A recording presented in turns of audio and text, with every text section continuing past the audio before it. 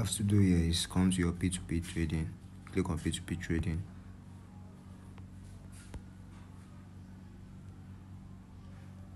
See, once you click on P2P trading, you go to sell.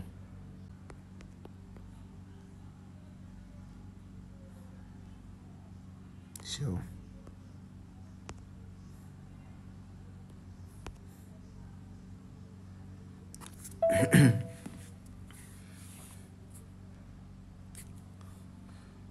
now Waiting for the guy to make the payment.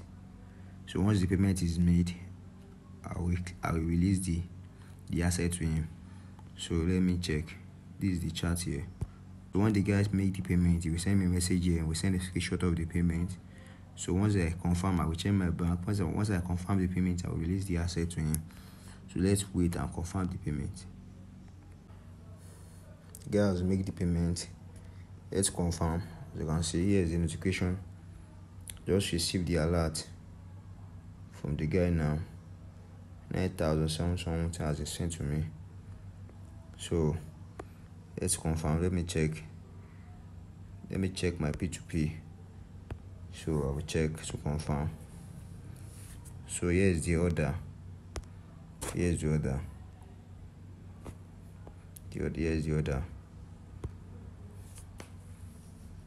As you can see, Um, I'm asked to release the crypto and I've commit I've confirmed the payment.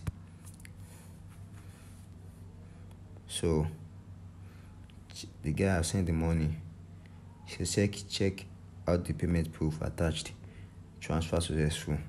The buyer will remind you to release the crypto. So once I click on release now, I'm releasing the the crypto to him because I've already confirmed the payment.